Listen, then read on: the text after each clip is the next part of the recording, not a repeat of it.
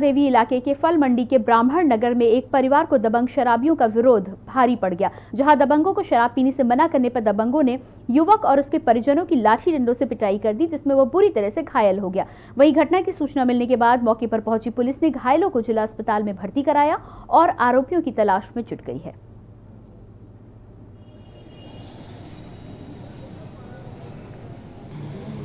शराब पी करके मार रहे थे सर, झगड़ा लगा दिए, हमारा साला है ये। उनको पिलाया उसके बाद फंसा। हम लोगों को मार दिया एक भी इसको पकड़ करके ले जा करके जुग्गी में मार दिया। कितने लोगों के साथ मारपीट की है? वो है तीन आदमी सर। तुम लोग कितने लोग घायल? हम लोग तीन तीन आदमी हम लोग हैं हमारे ससुर होते हम लोग पकड़ने उकड़ने गए। हम्म, तो मारने लगे। ये गई कि मान लो हमारे पिताजी को क्यों मार रहे हो कहा इनको पकड़ के जुग्गी में ले गए मारपीट करके उसको सब गिरा दिए